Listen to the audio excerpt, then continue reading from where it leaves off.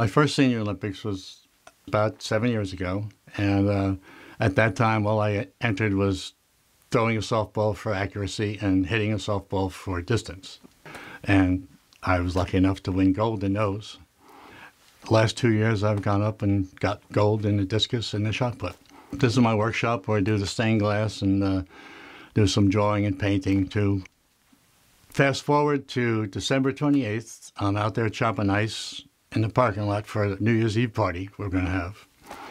And um, I started feeling this pressure in my chest, and I didn't know what it was at that time. I went inside and I sat on the couch. So my wife came in. She said, Should I called 911? And I couldn't even answer her. She said, I guess I'll take that as a yes. Whisked me off to uh, Ocean Medical. They did, you know, CTs and every kind of test you can imagine.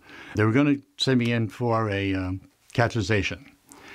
And my doctor and I both agreed that at that time, Ocean Medical couldn't do the, do the stent if I needed it.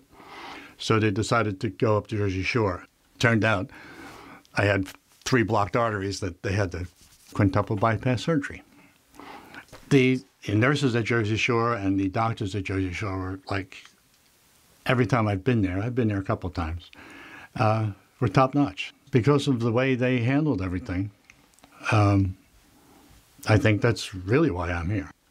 I'll tell you this right now. I would never go to any other hospital except those two because I've, I've always gotten the best treatment.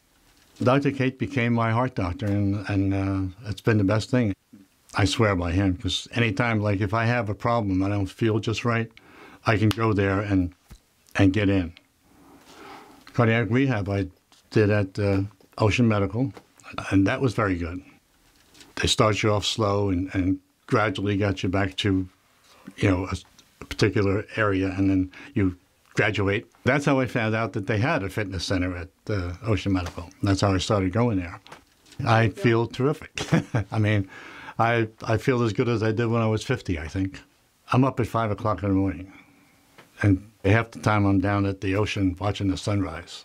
And, and I, I sit there and think, you know, people don't do that. And, and I never did it, you know, when I was younger. But after this, I take I don't take anything for granted.